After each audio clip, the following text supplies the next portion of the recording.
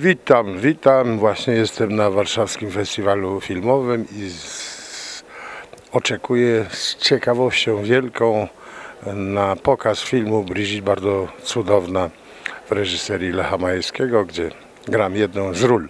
Eee, oczekuję oczywiście z niepokojem, bo nie widziałem filmu, z niepokojem o siebie samego i o moją rolę.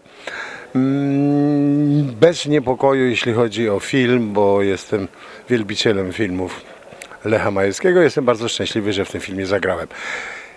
Nic więcej o filmie powiedzieć nie mogę, bo go nie widziałem, a kręciliśmy go już ho, ho, ho parę lat temu, znaczy parę, dwa czy dwa i pół roku temu. Mm, Niemniej gorąco zapraszam na film, jak będzie już y, grany w Polsce. Andrzej Grabowski.